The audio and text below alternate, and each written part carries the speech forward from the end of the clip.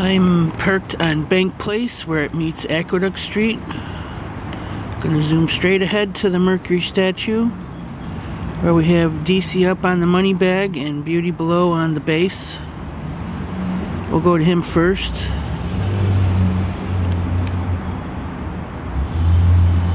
He's been doing a little preening up there the last few minutes. Beauty was eating down there on the base when she first got there, and she's since finished. We had some food exchanges. We had bonding in the nest box. Uh, we had mating.